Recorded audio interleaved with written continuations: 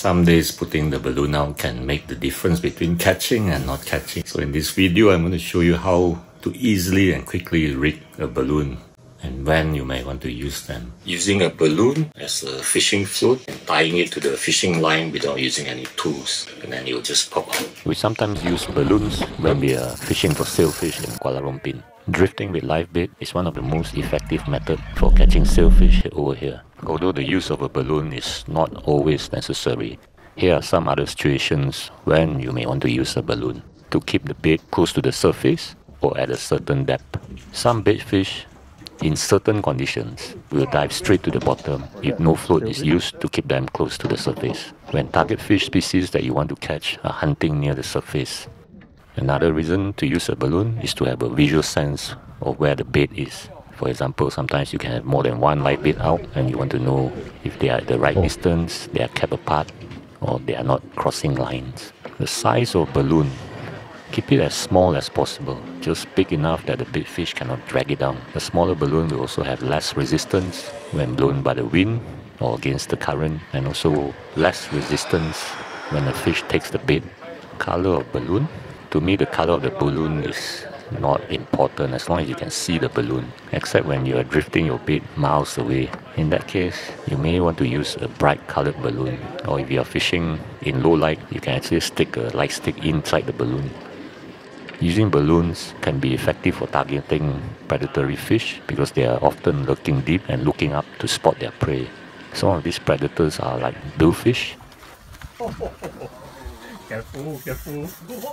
mackerel, cobia, queenfish, mahi-mahi and many more. We have even caught groupers or coral trouts using balloons. So uh, I'm going to show you a quick and easy way to attach a balloon to your leader and this method allows the balloon to pop out easily when your bait is taken by a fish. After selecting your bait, put it on the hook. Don't leave the light bait out of water for too long. He's a happy little fella. Okay, go and look for the big fish. Let the bait out and then let some line out to a length or the depth that you want to keep the fish on. And then once you are there, pinch the line, take a balloon, inflate it.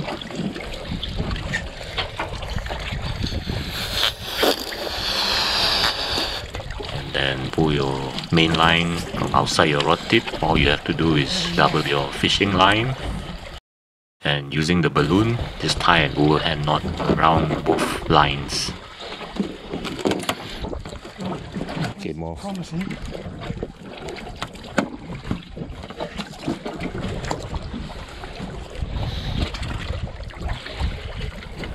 From here on, just let the wind and current take the bait and balloon out. The bait will also usually swim out. I'm going to show it to you again how it's done. Double up the line and then just do an overhand knot.